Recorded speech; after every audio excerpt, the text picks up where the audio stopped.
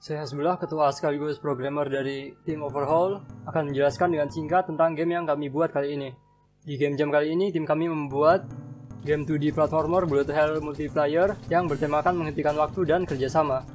Singkatnya, game ini bertemakan multiplayer dan waktu. Game ini mengingatkan kepada orang-orang bahwa selambat atau sifat apa pun waktu yang dirasakan terlewati pada hari-hari ini yang seperti ilusi.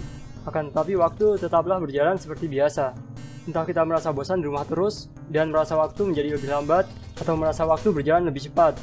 Akan tetapi waktu berjalan seperti biasa dan waktu yang telah terlewati tidak akan terulang kembali. Di game ini ada jurus spesial yaitu menghentikan waktu dengan menekan tombol spasi. Game ini menggunakan input keyboard dan mouse.